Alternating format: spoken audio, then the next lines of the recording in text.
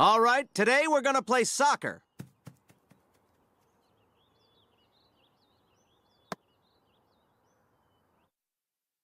Huh, that was easy.